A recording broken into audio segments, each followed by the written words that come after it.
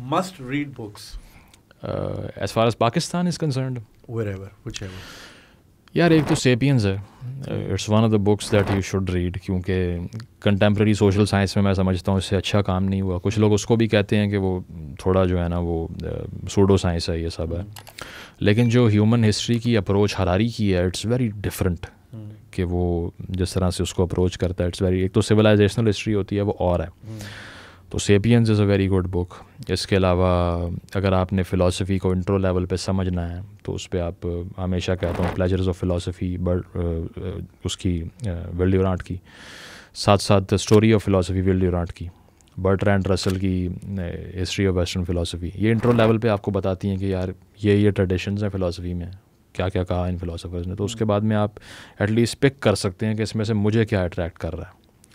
पाकिस्तान की अगर बात करें तो हुसैन अकानी साहब गद्दार जो है, जिनको हम कहते हैं उनकी तीन किताबों का बड़ा ज़बरदस्त सेट है। Magnificent delusions re imagining Pakistan Pakistan between mosque and military. These three books are based on objective history because वो वाइट हाउस के रिकॉर्ड निकाल के ले आया, उसकी एक्सेस बहुत ज़बरदस्त है।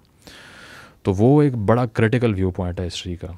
मैं आज से आठ साल पहले जब ट्रेन में बैठ के पहली बार कराची आया था तो रास्ते में मेरे हाथ में एक किताब थी उसका नाम था मर्डर ऑफ़ हिस्ट्री बाय के के अज़ीज़ वो किताब कराची आने से पहले पहले मैं गद्दार बन चुका था। उसकी वजह यह है कि उससे पहले मैं बिल्कुल ही मुख्तलिफ़ जहनीत का मालिक था लेकिन जब मैंने वो पढ़ा कि यार मतलब ये क्या एक भी चीज़ सही नहीं लिखी हुई पाक स्टडी के अंदर कोई एक भी सही होती तो सही था।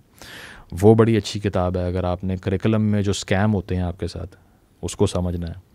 नाइन लाइव्स ऑफ़ पाकिस्तान आपके पीछे पड़ी हुई है। It's a very good book क्योंकि डकलन वॉश का जो व्यू पॉइंट था पर्सनैलिटीज़ जो कि बड़ी इन्फ्लुएंशियल हैं पाकिस्तान में, उनको लेके बड़ी इंसाइडर इन्फॉर्मेशन लिखता है वो। वो पढ़ सकते हैं। इसके अलावा अगर आपने थोड़ा रिलीजियस हिस्ट्री की तरफ़ जाना है तो आयर्स ऑफ़ द प्रॉफिट है रॉजरसन की वो पढ़ सकते हैं। पार्टीशन पे अगर आपने जाना है तो इसमें freedom at midnight is one of my favourite books वो पढ़ सकते हैं। लैरी कॉलिन्स की है। इश्तियाक अहमद साहब is a good big name अच्छा काम है जना साहब के ऊपर भी उनका पंजाब के ऊपर वो पढ़ सकते हैं। जना ऑफ़ पाकिस्तान स्टैनली वुलपट की he is the most authentic biographer of Jinnah in fact the only one में भी जो ऑथेंटिक माना जाता है। तो वो पढ़ें आपको समझ आएगी कि जो जना साहब आपको पेश किए गए हैं उससे कितने मुख्तलिफ़ थे। माय ब्रदर फातिमा जना की अपनी किताब है जिसको स्टेट ने सेंसर किया। यहाँ पे मिलती भी नहीं। मिलती नहीं है मेरे पास है वैसे। तो आपको भी मिल जाएगी इस तरह ही कोई छाप छूप देता है पीडीएफ से। Inside military economy by Ayesha Siddiqa it tells you that how big the deep state is that's what you could read और uh, बाकी हार्ड कोर फिलासफी में जाना है तो मेरा तो नीचे ही फेवरेट है।